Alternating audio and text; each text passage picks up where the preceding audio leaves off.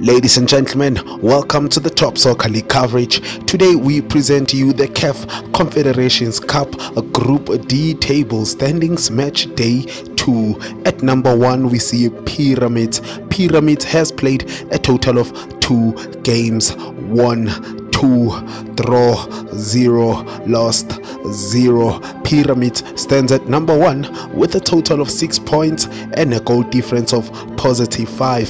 At number two, we see Raja Casablanca. Raja Casablanca has played a total of two games, one, two, draw zero, lost zero.